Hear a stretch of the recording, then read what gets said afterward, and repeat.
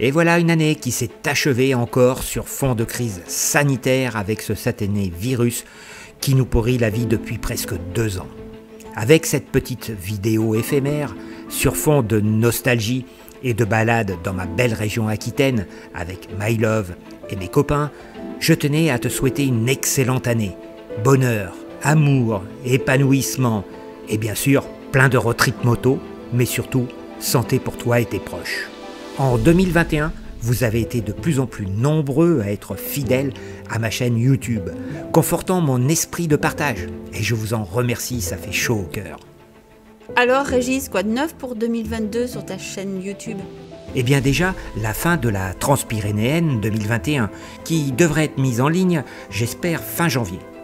Après, je tiens absolument à faire un petit tuto sur euh, les quelques formalités, toutes simples à réaliser avant le départ d'un road trip au long cours, et qui peuvent se montrer indispensables en cas de pépin à 2000 km de chez toi. Et là, je peux te dire que ça sent le vécu. Ah oui, je confirme.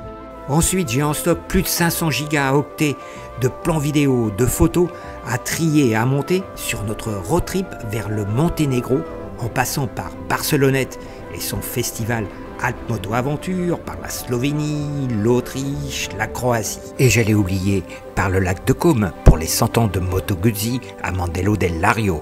Et si je trouve le temps, j'ai plein d'idées et j'ai ce qu'il faut pour faire des trucs sympas. Et pour 2022, tu peux nous dire ce que nous avons prévu comme voyage?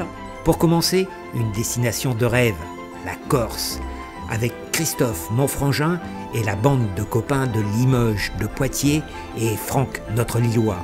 10 jours de road trip fin mai début juin.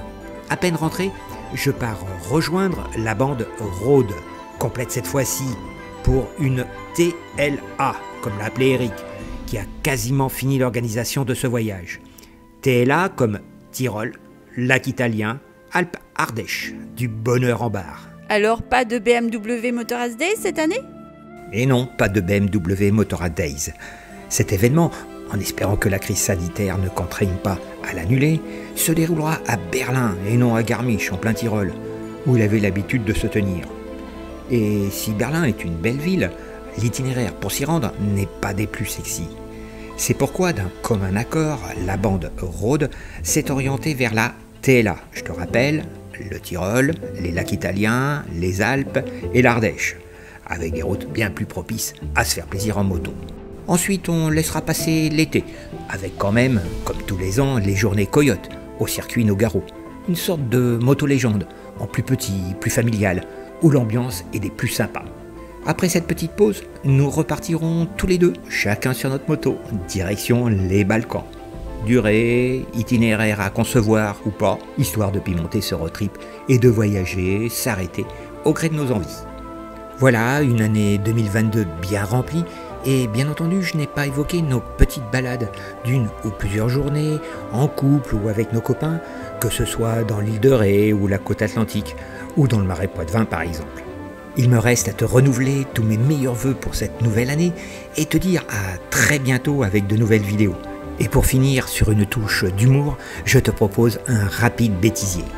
Ciao les amis Et pour 2022, tu peux nous dire ce que nous avons prévu Tu peux nous dire ce que nous avons prévu pour... oh la nulle Et pour 2022 Et pour, te... et... et pour 2022, tu peux nous dire... Arrête-toi. Dégage de là.